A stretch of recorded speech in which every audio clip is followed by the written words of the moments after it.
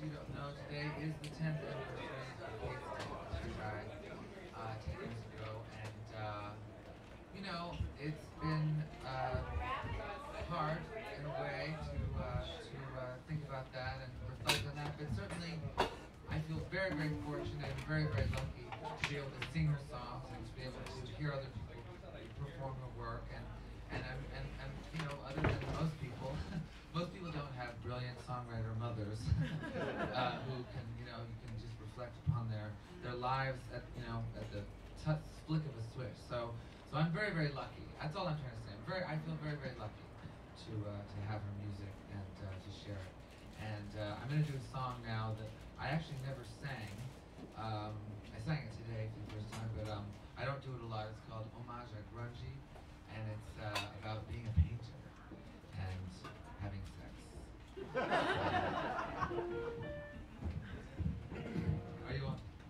No, it's gradually. Yeah, yeah, yeah. yeah. yeah.